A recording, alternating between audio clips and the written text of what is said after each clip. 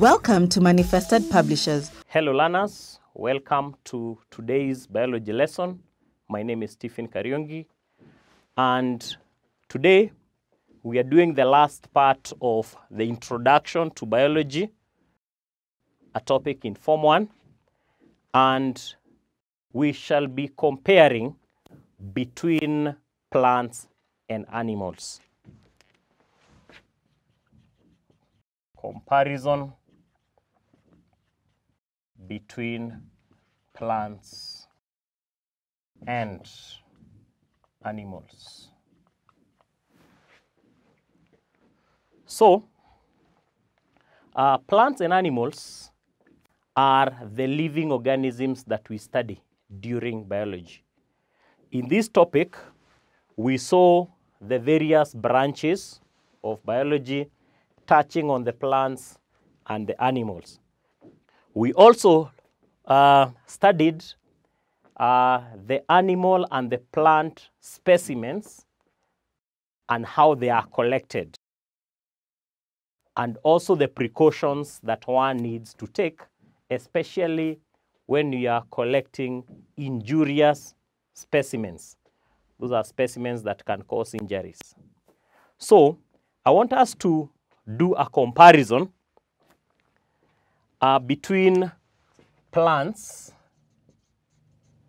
and animals. And we'll present this in form of a table.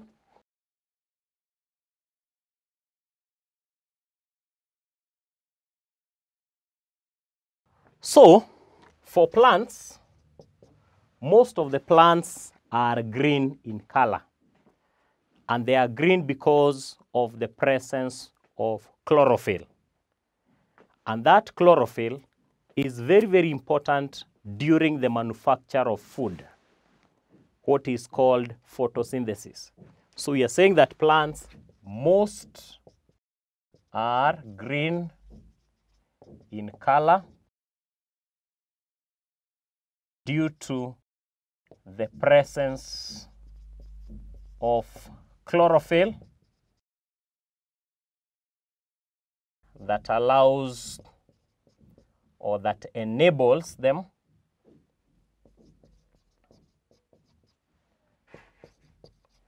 manufacture food.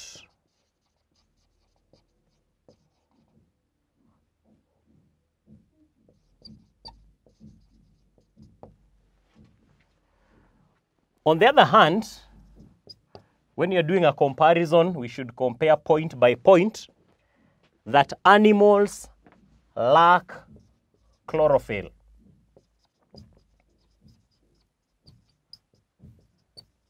And therefore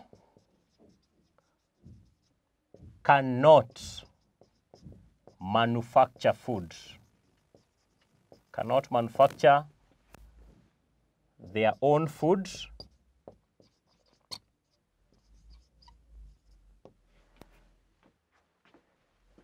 hence rely on plants.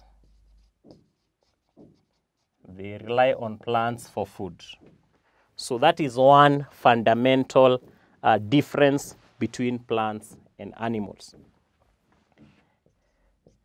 The other difference is in terms of their movement. Plants move during growth and also when they respond to the various changes in the environment. That movement only happens in particular areas. It doesn't happen in the entire plant. But when it comes to animals, animals are able to move their entire body from one position to another position. So plants move only part of their body. And that is during growth and response to environmental changes.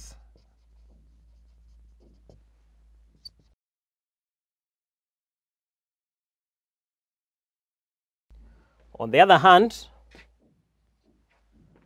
animals move their entire body. What is called locomotion.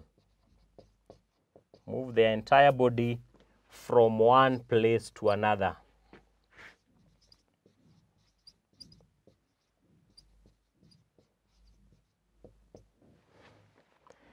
Another difference between them is that when plants respond to the environment, they respond slowly. But animals respond very fast to any change that takes place in the environment.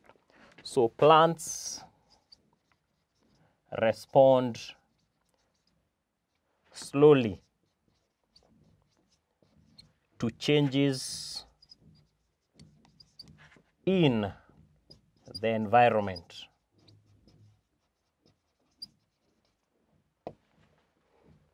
On the other hand, animals respond fast to environmental changes.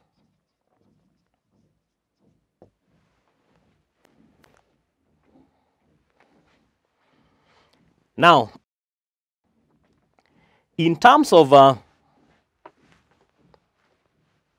in terms of their growth,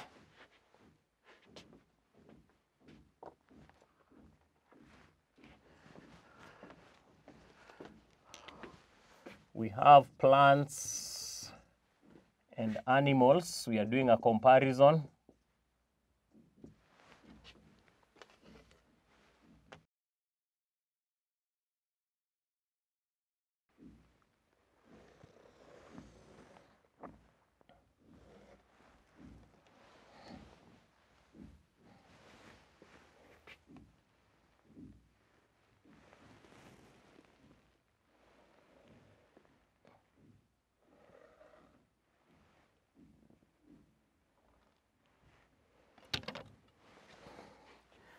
In terms of their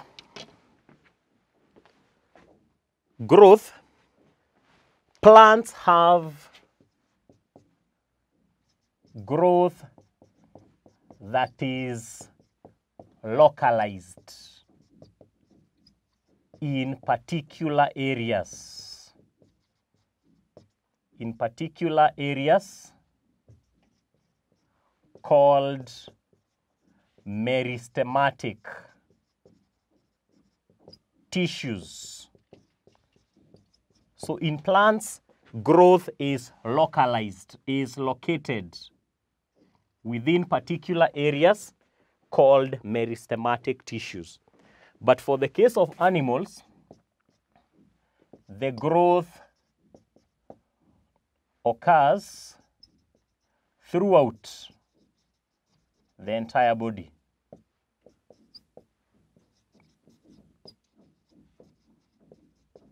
So animals have growth occurring throughout their entire entire body. Um, in terms of how they store food substances, plants store food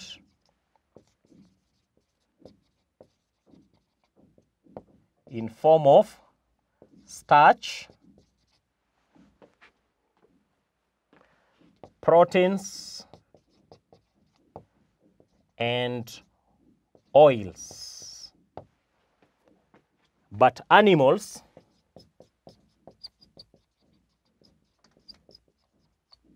store food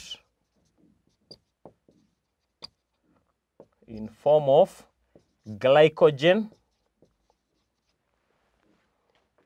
They also store proteins and fats.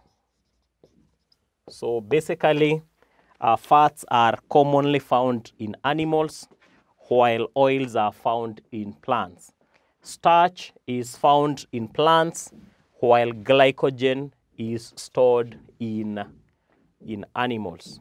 So what we have uh, done, we have had a comparison between plants and animals as we have studied them in the, introductory topic. That most plants are green in color due to the presence of chlorophyll that enables them to manufacture food through photosynthesis. Animals lack chlorophyll and therefore cannot manufacture their own food and hence rely on plants. Plants move only part of their body during growth or response to environmental changes. But animals move their entire body, what we call locomotion, from one place to another. Plants respond slowly to changes in the environment, but animals respond fast to environmental changes. And D, growth in plants is localized in particular areas called meristematic tissues, while animals have growth occurring throughout their entire body.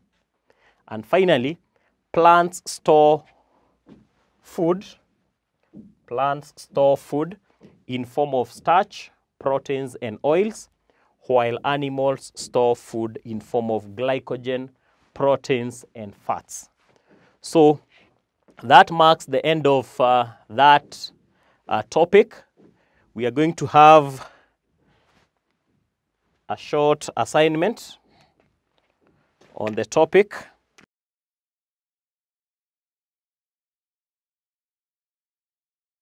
So the first question, explain how plants display movement or how they show movement. Number two, what is locomotion? And number three, explain the mode of nutrition in plants. So we'll stop there. Until next time, goodbye.